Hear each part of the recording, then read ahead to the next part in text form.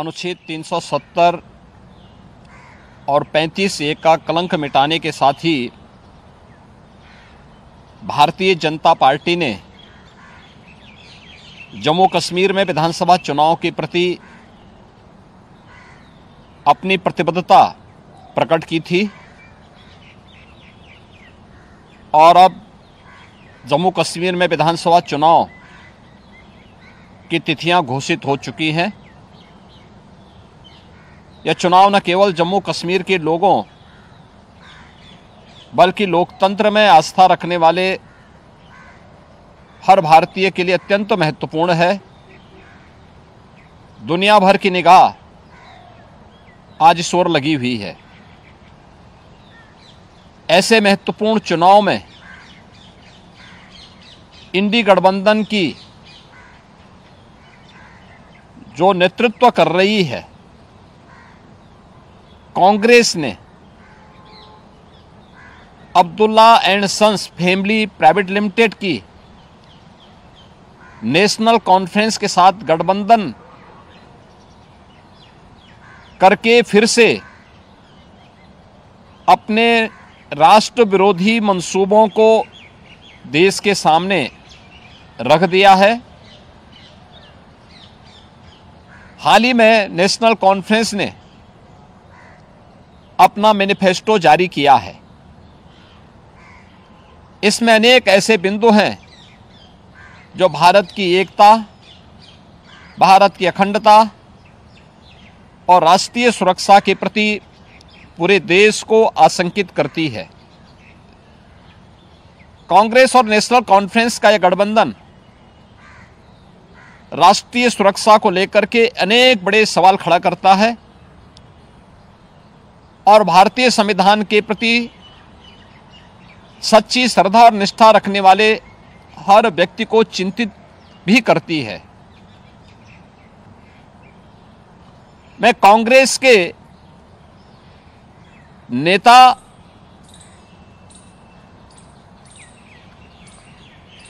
श्री राहुल गांधी से पूछना चाहता हूँ कि क्या कांग्रेस नेशनल कॉन्फ्रेंस के जम्मू कश्मीर में फिर से अलग झंडे की घोषणा का समर्थन करती है। क्या राहुल गांधी और कांग्रेस पार्टी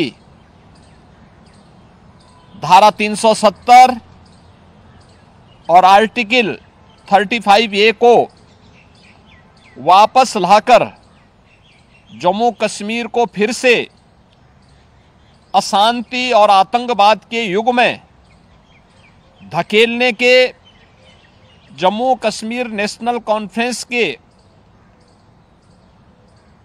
घोषणा का समर्थन करती है। क्या कांग्रेस जम्मू कश्मीर के युवाओं के बदले पाकिस्तान के साथ वार्ता करके फिर से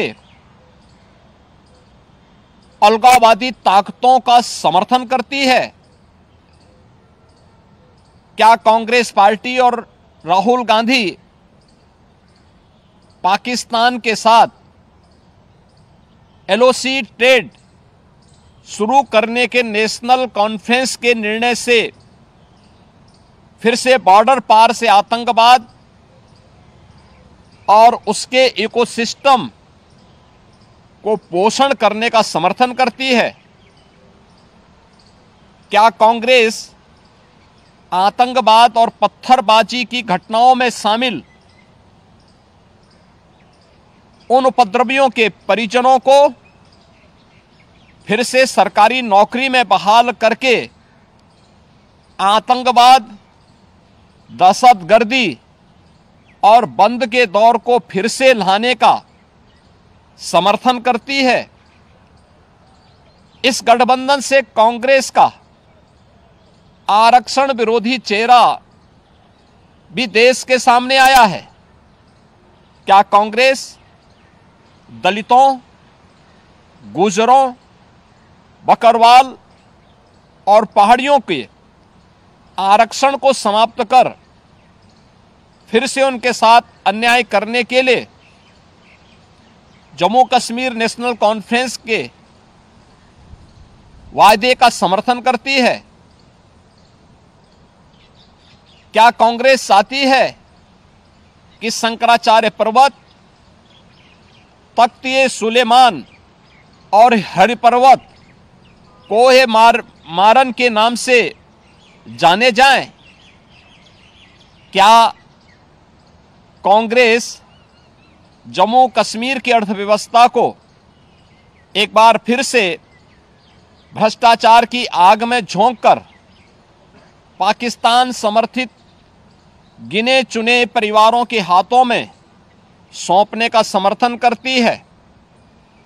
क्या Congress party Jammu Kashmir National Conference के जम्मू और घाटी के बीच भेदभाव की राजनीति का समर्थन करती है। क्या कांग्रेस और राहुल गांधी कश्मीर को ऑटोनॉमी देने की जम्मू कश्मीर नेशनल कॉन्फ्रेंस की विभाजनकारी नीतियों का समर्थन करती है? आज़ादी के बाद जम्मू कश्मीर के लोगों के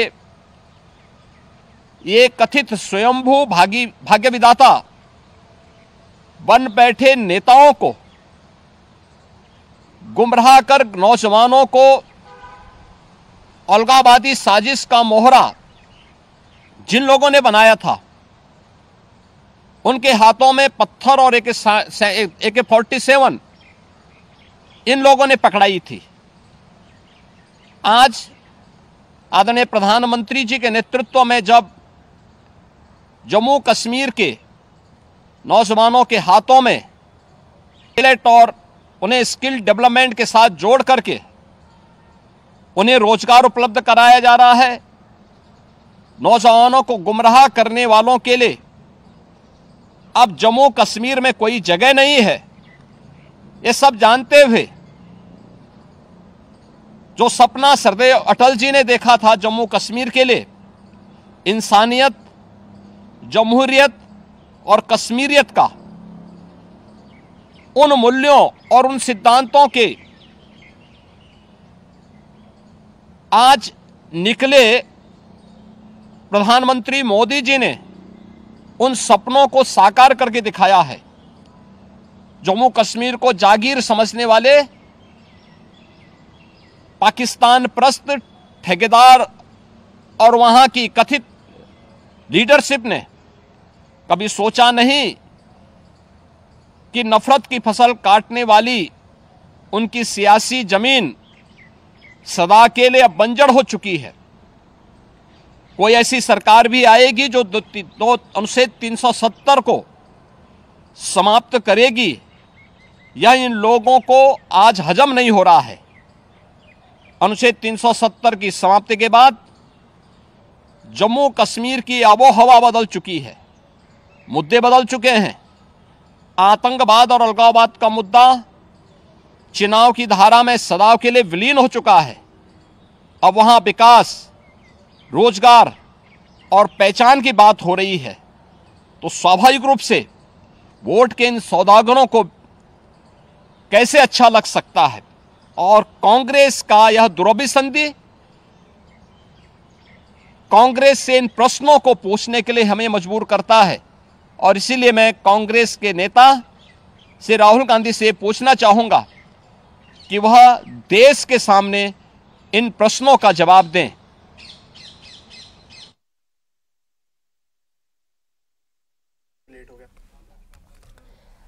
तो अभी अभी मुख्यमंत्री योगी आदित्यनाथ को आप लाइव सुन रहे थे और सीधे सीधे यहाँ पर राहुल गांधी पर निशाना साधते हुए नज़र आए और कांग्रेस को निशाने पर लिया, कांग्रेस को राष्ट्र विरोधी बताया गया।